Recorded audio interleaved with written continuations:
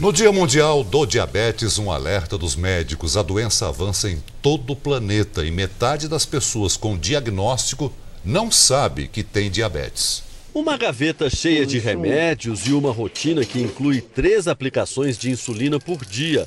Seu Rubens, 61 anos, há 30 descobriu que tem diabetes. No caso dele, a mais comum, a tipo 2, geralmente relacionada ao estilo de vida das pessoas. A questão da diabetes é um controle. E também é uma prova né, de resistência, né?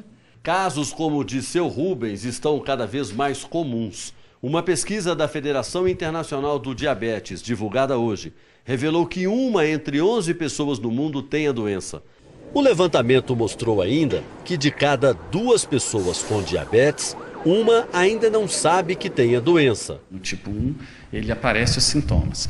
O diabetes tipo 2, como ele é uma doença assintomática nos primeiros anos de, né, que, em que ele aparece, muitas pessoas não sabem, só saberia mesmo se fizesse o exame. O corpo dá alguns sinais: maior vontade de urinar, maior sensação de sede, cansaço constante, feridas que demoram a cicatrizar e formigamento nas extremidades.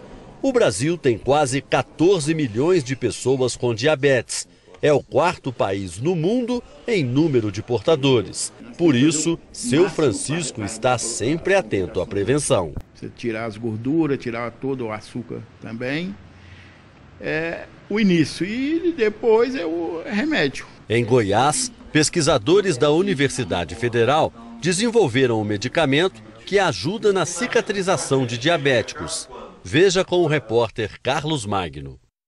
Este vidrinho, com apenas algumas gotas, tem milhões de nanopartículas, tão pequenas que só mesmo com um microscópio potente para enxergar. E foi com nanotecnologia que pesquisadores da Universidade Federal de Goiás desenvolveram um remédio para tratar feridas de diabéticos um problema muito comum nas pessoas que têm a doença. Esse medicamento ele seja mais eficiente por levar esse princípio ativo, né, que no caso é a insulina, para ajudar na cicatrização dessas feridas de pacientes diabéticos. O medicamento vai ser aplicado em forma de spray. Além de facilitar a aplicação, vai diminuir também o risco de infecção. O experimento da Universidade Federal de Goiás vai ajudar pessoas como a Luzia e dois filhos dela que têm diabetes e sentem literalmente na pele o que é ter uma feridinha e precisar curar.